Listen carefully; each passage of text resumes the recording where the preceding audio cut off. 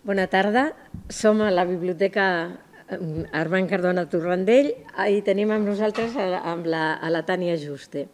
La Tània Juste és escriptora, també historiadora, i ens ha vingut a acompanyar en el club de lectura d'adults d'aquesta tarda en què llegíem la seva última obra, aquest Amor a l'art, que va guanyar el Premi Prudenci Bertrana l'any 21. Benvinguda, Tània, moltes gràcies per la xerrada que ens has fet, les preguntes que ens has contestat i ara per aquesta entrevista que dones per l'Eix Diari. Moltes gràcies a vosaltres i un plaer ser aquí a Vilanova. a veure, arrel de, de l'escriptura de, del teu primer llibre, eh, tu vas fer unes manifestacions dient que ja no podies mm, deixar d'escriure. Repeties una frase del, del Paul Auster, Exacte. que ja mai més podries deixar d'escriure. I realment ho vas complir.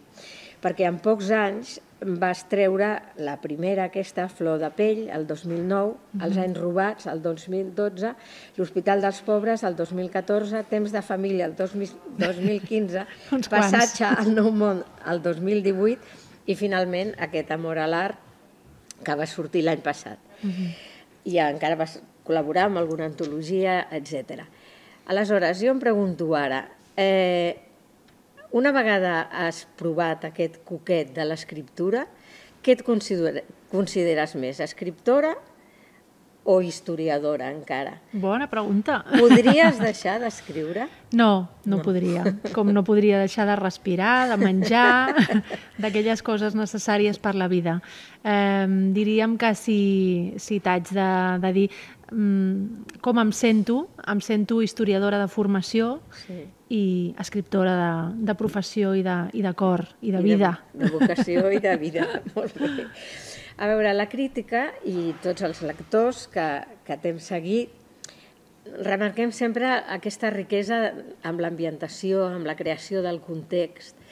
Aleshores, això t'obliga a molta, a molta feina de documentació i, per tant, en certa manera, d'historiadora. Què preval? Què et sents tu Ara ja m'has dit sí. que més escriptora. Sí, la, a veure, és, és part de la meva feina, tot aquest procés de documentació. Mm. Penso que inclús eh, si estigués escrivint sobre un període absolutament contemporani, si estigués escrivint ara mateix sobre l'any 2022, crec que aquesta feina de documentació tampoc me l'estalviaria. No. És a dir, mm, és la, la tinc com una part molt intrínseca clar. de la meva feina. És a dir, jo necessito tots aquests mesos o any o any i mig per documentar-me, per realment vestir fer aquest, aquesta, aquest, aquest vestiment de, de, la, de la novel·la, no? del, del que serà després la novel·la, no? És, eh, és una part molt, molt important i per tant hi dedico, hi dedico temps, hi dedico esforç i eh, després em faig una autocensura a l'hora d'escriure, que és intentar no mostrar evidentment, tot allò que has après, tot allò que has estudiat o amb tot allò que t'has especialitzat. No? Vull dir que es tracta de que el lector pugui navegar per eh, un altre temps, no? eh, per exemple, les primeres dècades del segle XX, sense que això li soni a una lliçó d'història ni molt menys, sinó que sigui una passejada com la que fem doncs, quan eh, viatgem a través del temps doncs, a, a, a per mitjà d'una pel·lícula o d'una obra de teatre o de qualsevol altra manifestació artística. Mm, tots també, els teus lectors, hem, hem observat la, la riquesa de, de, de les teves descripcions, el detall, el, el mimo, no? una mica. Mm, ens sembla de vegades al llegir-te que veiem la, la imatge, que veiem el quadre.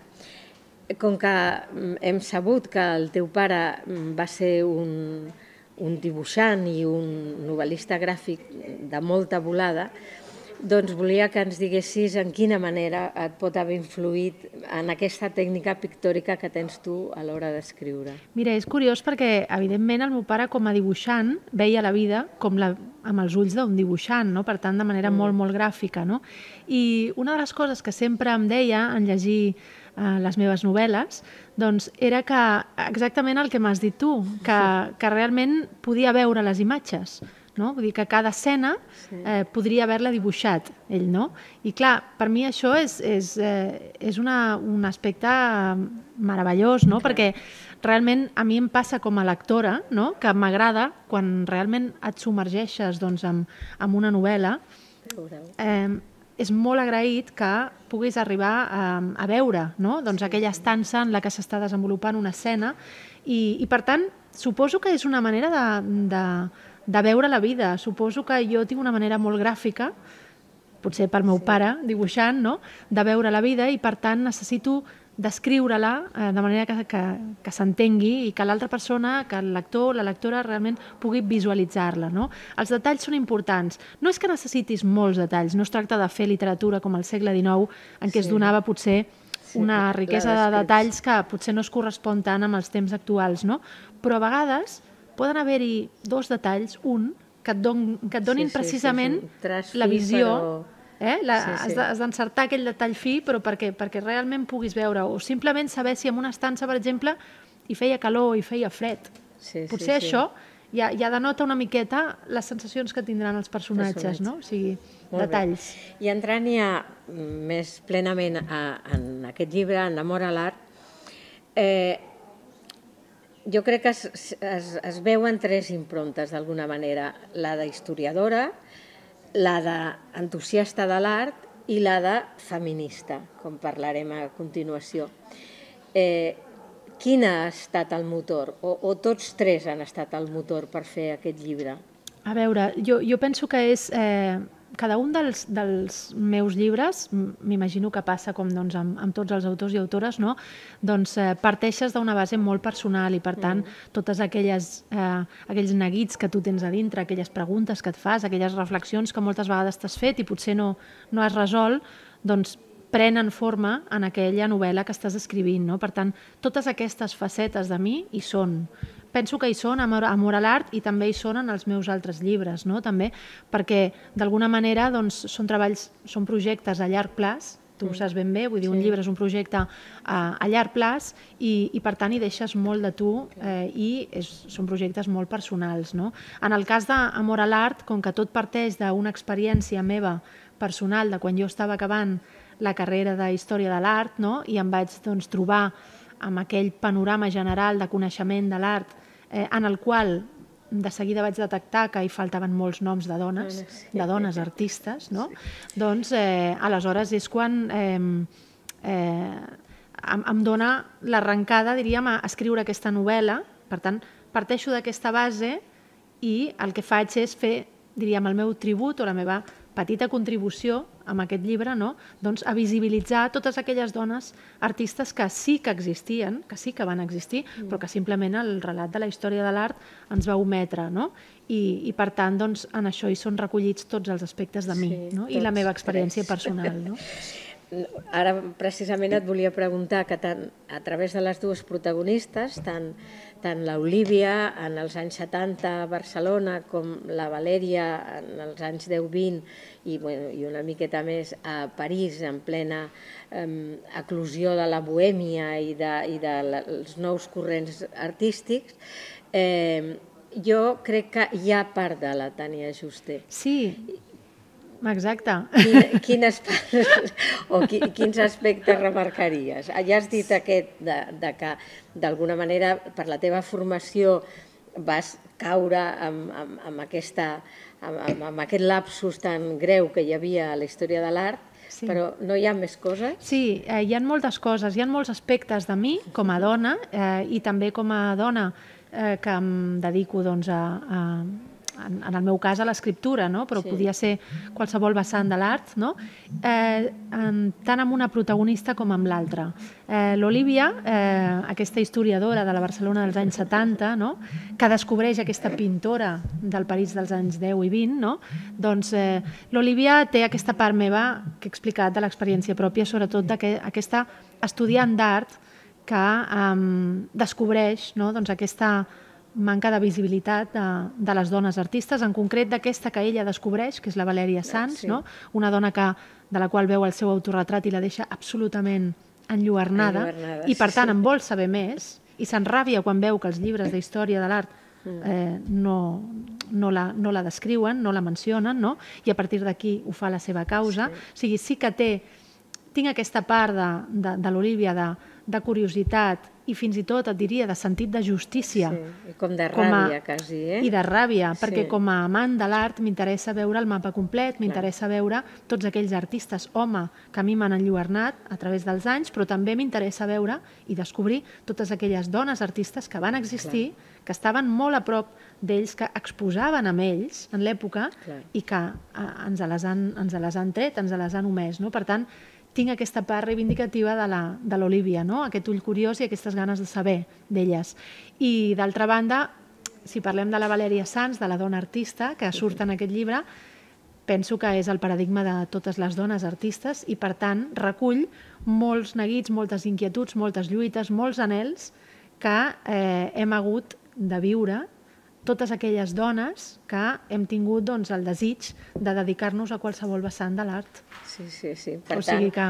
tu, com a, tu com a escriptora, d'alguna manera també has viscut part de, de l'Odissea, no? de la Valèria, de, del, del sentir-se que pel fet de ser dona el seu camí, encara que se l'anés obrint, era més, més complicat. Sí, exacte. I, i, no, i, i tampoc es tracta de dir-ho amb un to victimista, però és un to absolutament realista. És mm. així. I això mm, fins i tot ho podem extrapolar més enllà de l'art, sí, del món de l'art, amb qualsevol cas i en qualsevol època, i també parlo de l'època actual, eh, en què una dona mm, decideix eh, doncs, eh, desenvolupar una carrera eh, professional, artística, científica, de qualsevol tipus, doncs eh, es troba al llarg del camí amb tota una sèrie d'aspectes sí, sí, sí. en les quals eh, ens, hi podem, ens hi podem reconèixer. Sí, sí. Unes a les altres eh, ens podem comentar-ho i compartir-ne, no? moltes d'aquestes. I són situacions amb les que es va trobant, doncs, en aquest cas, la Valèria, una de les protagonistes de Moral Art. Sí. Sí, sí. A veure, i et volia demanar, no sé si és una cosa que la puguis explicar, mm, què estàs escrivint, perquè no dubto que estàs escrivint, sí, sí, però uf, una miqueta, un, perquè... un avançament petitit. Sí, sí, sí. Mira, estic escrivint perquè sempre m'agrada explicar, perquè és molt gràfic, no?, que passa una miqueta amb els llibres com això, tu m'entendràs perfectament, passa com, com en els parts, no? O sigui, eh, quan, quan tens un fill, no? doncs, eh, eh, hi ha un moment en què eh, hi ha el procés aquell que li diuen, que tots entenem que és allò, la depressió postpart. No? Sí. Doncs quan es treu un llibre passa una mica una cosa similar. Tens aquella depressió postpart, no? Vull dir, has parit un fill literari sí, sí, sí, sí, i per tant, sí, sí, i per tant doncs, tens com aquella sensació de buidor, no? d'haver de, d'alguna manera deixar anar no? eh, d'abandonar aquells personatges amb els quals sí. tu has estat convisquent d'una manera absolutament real i vivida no? durant un any, dos anys, tres anys, cinc anys, deu anys, el que sigui. No? I per tant hi ha aquesta sensació una mica de dol. No? Eh, aleshores, per mi el remei és posar-me a escriure de seguida. per tant, el que, el que vaig fer doncs, un cop doncs, enllestit a Moralar, a Moralar, doncs, a la que he tingut temps, que la veritat és que en els últims mesos ha sigut complicat perquè he hagut de compaginar moltes coses, però ha sigut posar-me doncs, ja amb el proper projecte i ja hi estic molt engrescada. Eh, la propera novel·la que escriuré és una novel·la molt barcelonina, també? molt barcelonina. També? Sí. En aquest cas no viatjo a París, no viatjo... O sigui, és Barcelona sí. i és... Eh, la meva font d'inspiració en moltes de les meves novel·les eh, arrenca de la meva família i també serà aquest cas. Sí. Me n'he anat a buscar una branca materna eh, de la qual sabia poc i, i estic trobant un material és curiós increïble. perquè amb la branca paterna ja tenies per set sí, novel·les, no? Exacte. Però o sigui has anat a la materna. Em molt. toca, sí, em toca una mica... Sí, és que saps, saps què passa? Que penso que al final eh, eh, la nostra primera pàtria és la família, no? Sí. I aleshores eh, la família és tot un univers que dona tant de sí, sí a nivell sí. creatiu, o sigui, i no només creatiu, sinó a nivell de vida, a nivell de de formació com a persones, no? de, de reflexió sobre el món que ens envolta, la família el primer, és el primer que ens defineix sí, sí, sí, no? És... i que ens situa en el món. No? I, I aleshores per mi és una gran font d'inspiració. I trobo sempre doncs, moltes històries familiars, no? com amb totes les famílies. A, no? quina, a quina època ens anirem? Mira, ja saps que m'encanta el segle XX i m'encanta sobretot les primeres dècades del segle XX i serà una novel·la que estarà ambientada en la primera meitat del segle XX, sí. Molt sí, bé. sí. Pues l'esperarem amb, amb moltes ganes. Moltes gràcies. Moltíssimes Tània, gràcies. per tota la teva amabilitat de tota aquesta tarda i a vosaltres, els de l'Eix, per donar-nos aquesta, aquesta plataforma.